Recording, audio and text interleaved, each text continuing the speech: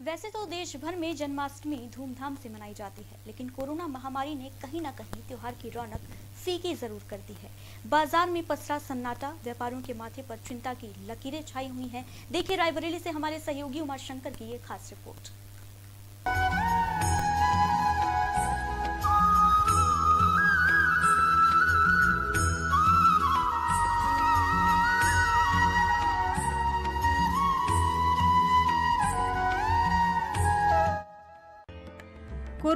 प्रहार और ऊपर से महँगाई की मार।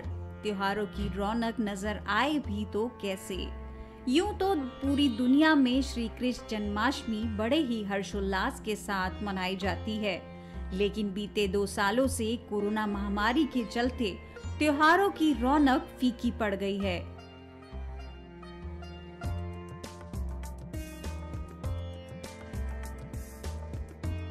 कोरोना ने जहाँ त्योहारों की रौनक छीन ली है, वहीं व्यापारियों की कमर भी तोड़ दी है।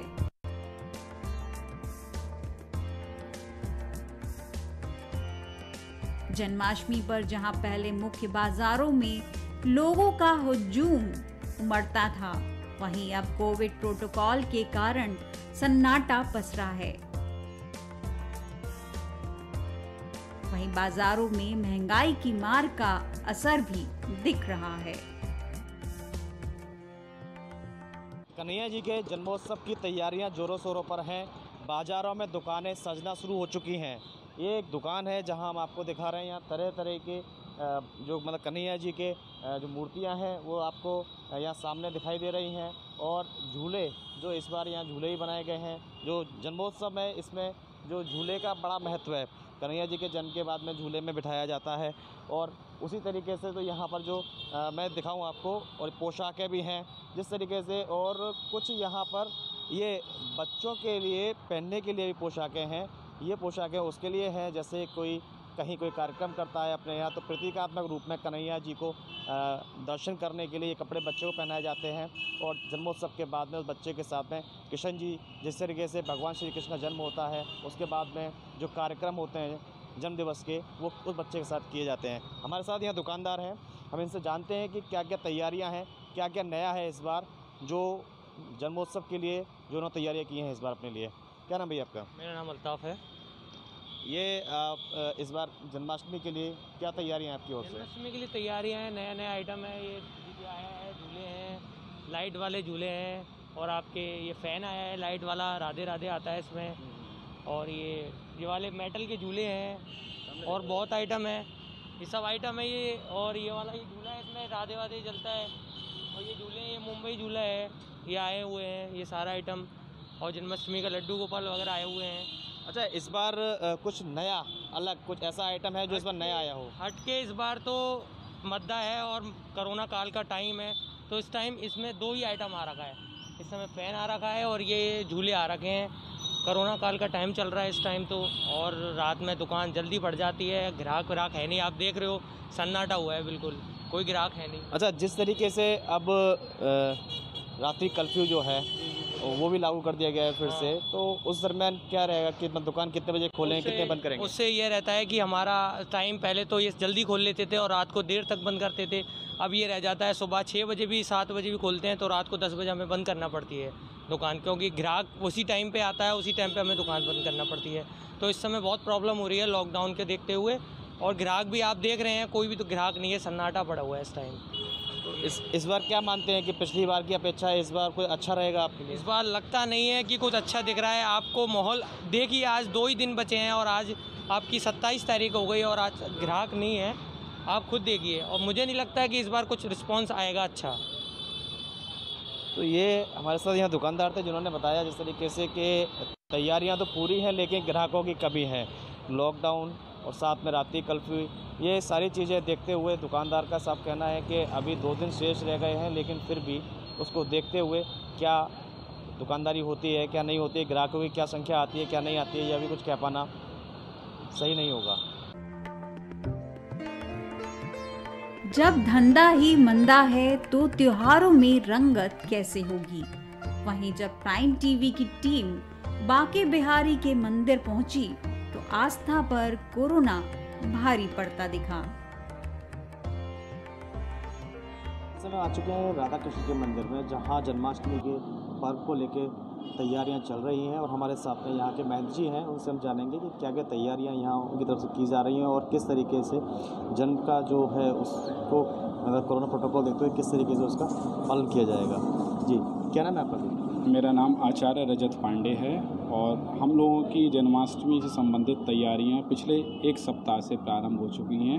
आप देख ही रहे हैं कि मंदिर में फूल मंगले का, सजावट का, सफ़ाई का काम चल रहा है, जिसको हम पूर्ण रूप से संपूर्ण कर देंगे कल शाम के पाँच बजे तक। कल दिव्य फूल बंगला सजेगा, मंदिर में सजावट इत्यादि होगी और एक फुवारे का भी आयोजन किया गया है। इसके साथ में बाल गोपाल प्रतियोगिता भी रखी गई है, प्रसाद वितरण इत्यादि वगैरह सभी कुछ होगा। जिस तरीके से सरकार के जो आदेश है रात्र में जो दस बजे के बाद में रात की कर्फ्यू वाले तो उसमें जिस जन्म की जो प्रक्रिया होती है उसको उसको कैसे किया जाएगा मंदिर पर देखिए, जन्म की प्रक्रिया है, वो तो बिल्कुल सेम रहेगी। जिस तरीके से ठाकुर जी का जन्म होता है, उसी पद्धति द्वारा, उसी विधान द्वारा भगवान ठाकुर जी का जन्म रहेगा। लेकिन इस बार जो बदलाव है, वो सिर्फ़ एकमात्र इतना होगा कि जो पहले भीड़, जहाँ सैकड़ों लोग हुआ करते थे, वहाँ पर सिर्फ़ पाँच सात लोग रहेंगे, जो कि मुख्य अतिथि हैं, कमेटी के लोग हुए और पंडित जी इत्यादि, उन्हीं सभी लोगों की उपस्थिति में भगवान का जन्म होगा। इसी तरीके तो कहीं ना कहीं ये मानते हैं कि जो इसमें कोरोना का जो महामारी चल रही है, उसकी वजह से जो भक्तगण है वो दर्शन से वंचित रहेंगे। हाँ इसका प्रभाव तो देखने को मिलेगा, क्योंकि यहाँ पर बहुत भीड़ आती थी। अब उतनी भीड़ तो देखने को नहीं मिलेगी, कुछ प्रभाव ज़रूर देखने को मिलेगा, लेकिन पुलिस की मौजूदगी में हम लोग पाँच सात लोगों की ही एंट्री करवाएँगे, अधिक लोगों की एंट्री मंदिर में नहीं होगी, और जो भी दर्शन करेंगे, वह बाहर से ही करेंगे। तो साफ़ है, जिस तरीके से मैम जी ने बताया है कि कोरोना प्रोटोकॉल का उनको पालन करते हुए यहाँ जो जन्माष्टमी का पर्व है, उसको मनाया जाएगा। आगरा से अमित शर्मा रैम टीवी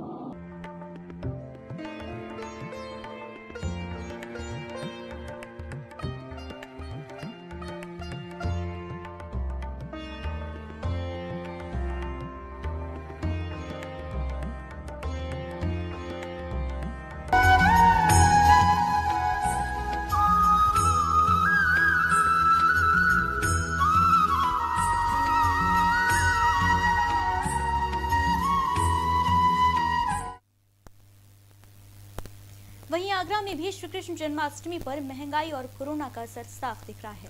आलम यह है कि दुकानें तो सज गई हैं, लेकिन ग्राहकों की संख्या ना के बराबर है। हालाँकि नाइट कर्फ्यू में मिली ढील से श्रद्धालुओं में खुशी की लहर ज़रूर है, देखिए।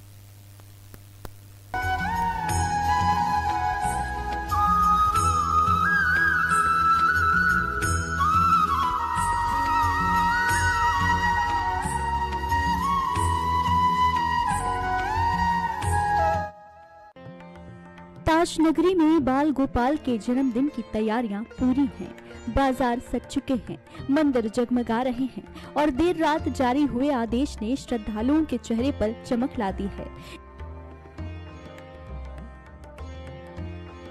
प्रशासन की गाइडलाइन के अनुसार कोरोना की त्रासदी को देखते हुए हम मास्क का प्रयोग करेंगे, सैनिटाइजर के लिए लोगों को प्रोत्साहित करेंगे और आपस में डिस्टेंस बनाकर लोग बैठे। इसका पालन करते हुए ये कार्यक्रम संपन्न करेंगे। प्रतिवर्ष ये भाद्रपद में अष्टमी की तिथि और रोहिणी नक्षत्र में भगवान का जन्म मनाया जाता है। उसी क्रम में ये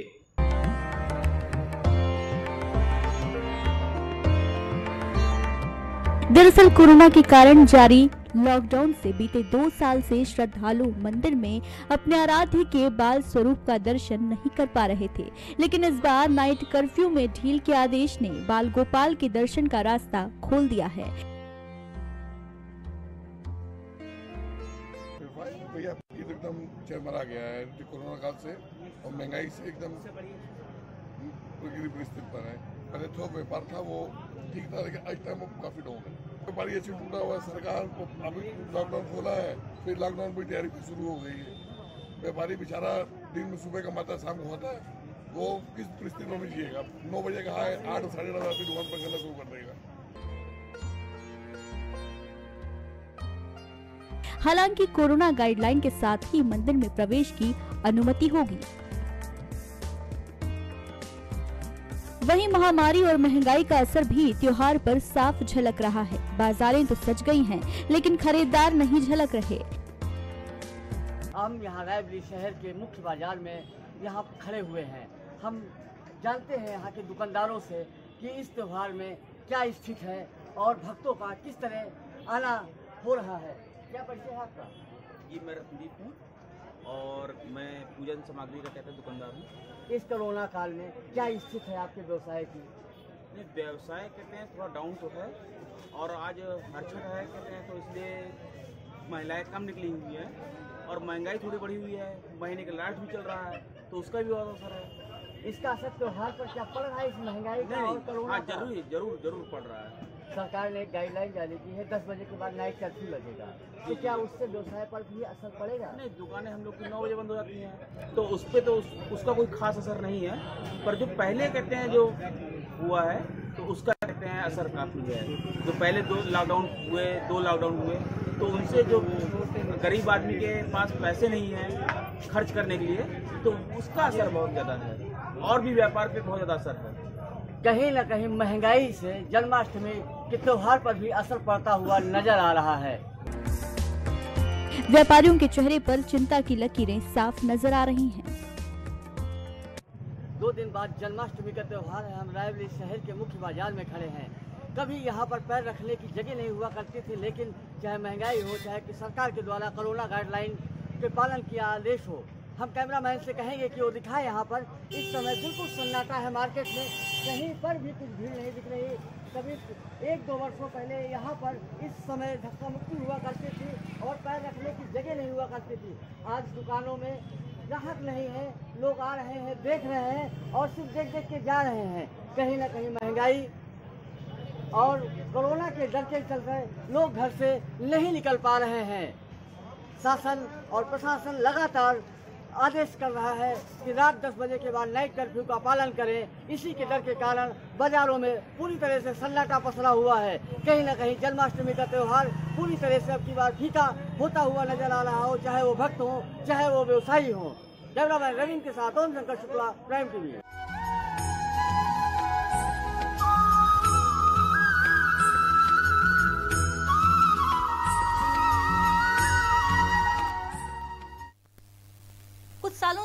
महामारी ने व्यापारियों की कमर तोड़ दी है। त्योहार की रौनक छीन ली है। सोनभद्र और औरैया में जब प्राइम टीवी की टीम ने जन्माष्टमी की तैयारियों का जायजा लिया तो कैमरे पर व्यापारियों का दर्द छलक उठा। देखिए।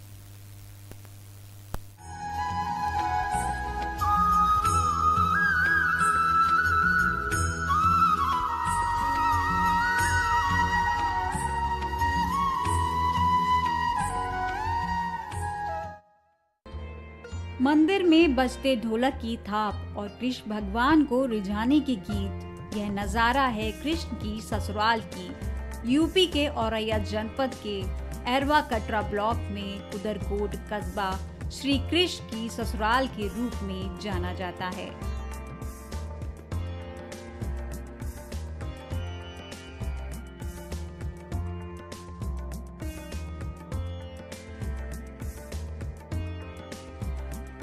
पौराणिक तथ्यों के मुताबिक, आज का कुदरकोट द्वापर युग के समय कुंदपुर नाम से जाना जाता था। देवी रुक्मणी के पिता राजा भीष्मक की राजधानी थी और देवी रुक्मणी इस मंदिर में माता गौरी की पूजा प्रतिदिन करने आती थी।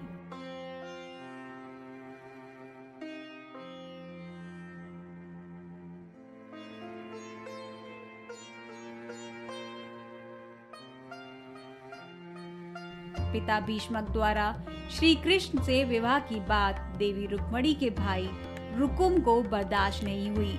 तो उसने अपने साले शिशुपाल से देवी रुक्मणी की शादी तय कर दी। ये द्वापर युग में ये कुंदनपुर नगरी के नाम से जानी जाती थी वर्तमान में कुदरपुर के नाम से जानी जा रही है। और वर्तमान में जो विधुना कहा जाता है, वो विदर्भ देश था द्वापर युग में। उसकी राजधानी इस नगरी में थी। यहाँ के राजा भीष्मक थे। राजा भीष्मक के पाँच पुत्र, एक पुत्री थी। बड़े पुत्र का नाम रुकुम रुष्मांतर रुकंतर इस तरीके से पाँच नाम और रुक्मी जी थे। भगवान श्री कृष्ण की आराधना रुक्मणी किया करती थी।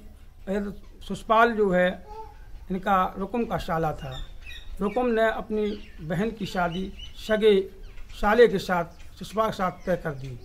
भगवान श्री कृष्ण की आराधना रुक्मणी किया करती थी। इधर जो है माता पिता उनके उनके साथ में नहीं थे और रुक्मणी ने जो है, एक ब्राह्मण द्वारा अपनी पाती भेजी लिख कर कर गए और भगवान श्री कृष्ण यहाँ मंदिर पर आए। माता गौरी की रुक्मणी पूजा करने आई थी शादी के एक दिन पहले। शादी के दिन पहले रुक्मणी जी पूजा करने आई। माता गौरी ने जो है साक्षात उनको दर्शन दिए और आशीर्वाद दिया और उसी जगह पर लुप्त हो गई। तभी से इसका नाम अलोपा देवी मंदिर पड़ा।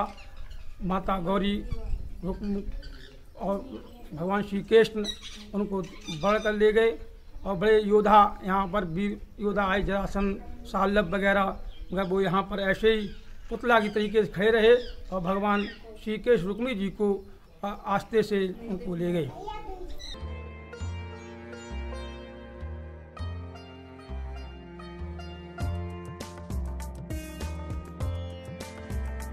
देवी रुक्मणी, जो कि कृष्ण को बहुत प्यारी थी, जब नियमानुसार इस मंदिर में पूजा करने आई तो श्री कृष्ण ने उनका हरण कर लिया उसी समय माता गौरी भी इस मंदिर से आलोप हो गईं। तब से इस मंदिर को आलोक देवी मंदिर के नाम से जाना जाता है।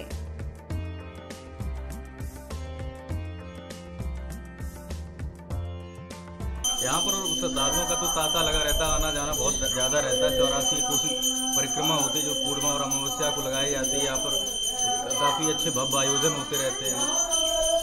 अच्छे ढंग से मनाई जाती है, काफ़ी सजावट रहती है। यहाँ पर काफ़ी लोग आएँगे और काफ़ी दूर दूर से लोग आते हैं। क्योंकि यहाँ पे बहुत बड़ा धार्मिक स्थल माना जाता है। यहाँ पर जो माना जाता है, ये रुक्मिणी जी के मंदिर पर आप खड़े हैं फ़िलहाल में। तो यहाँ से मान्यता है कि यहाँ पर क्या नाम, सीधा कृष्ण भगवान जी आए थे जो रुक्मिणी का हरण करके ले गए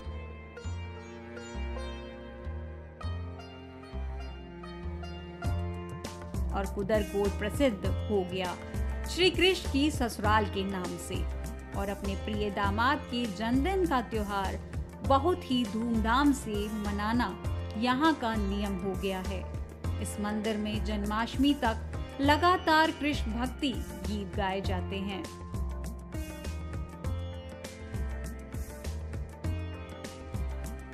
यहाँ पे मंदिर की जाती है। मतलब बहुत पुरानी बात तो सुनते हैं कि यहाँ पे भगवान श्री कृष्ण आए थे और रुक्मिणी का हर कर ले गए थे। और यहाँ पे जो गौरी माता जो मंदिर था, यहाँ से वो अलोप हो गई थी। तब से इस जगह का नाम अलोपा मंदिर गया।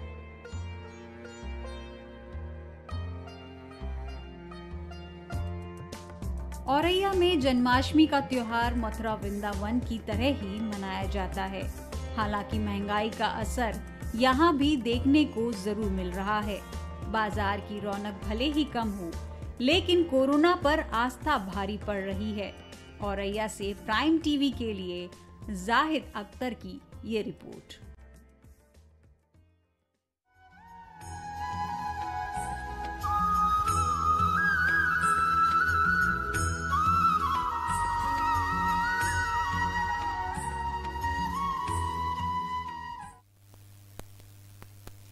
वहीं राजधानी लखनऊ की अगर बात करें तो जन्माष्टमी के पर्व पर बाजारों में खासा रौनक देखने को मिल रही है। मंदिर सज चुके हैं। श्री कृष्ण के जन्मोत्सव को मनाने की तैयारियाँ पूरी हैं। देखिए हमारे सहयोगी अजहर की ये खास रिपोर्ट।